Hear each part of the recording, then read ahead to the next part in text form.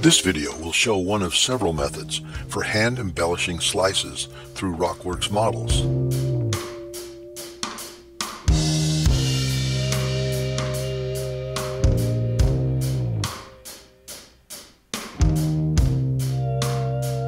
We'll start by creating a stratigraphy profile between two endpoints.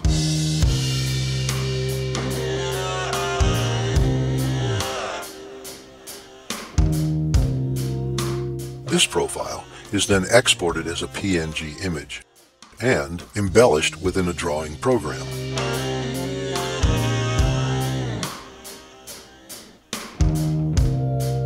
In this example, we're using Corel's $52 Paint Shop Pro.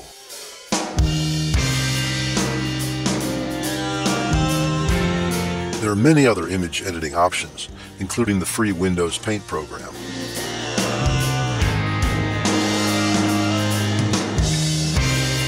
The final step is to use the Graphics Images Vertical Single program to display the embellished image in 3D. This tool includes options for adding additional information, such as borehole logs to the final 3D output.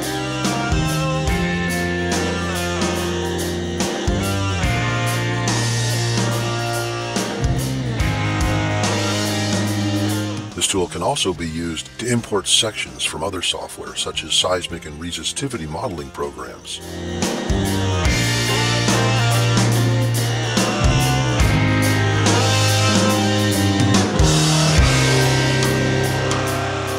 Thanks for watching.